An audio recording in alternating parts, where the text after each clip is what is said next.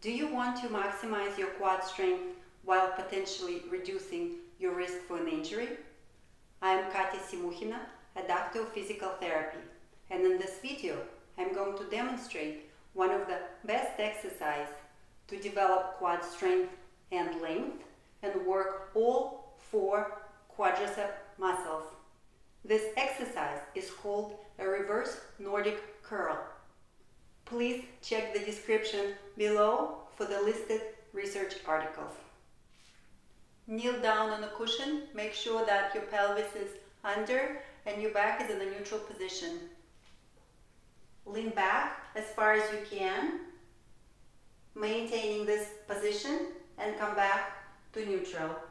And again. Lean back as far as you can, hold, maintaining the position neutral. Make sure not to flex at the hips when you lean back. Squeezing the glutes helps to maintain this nice straight alignment as you're leaning back. And back to a starting position. Repeat three sets of 10.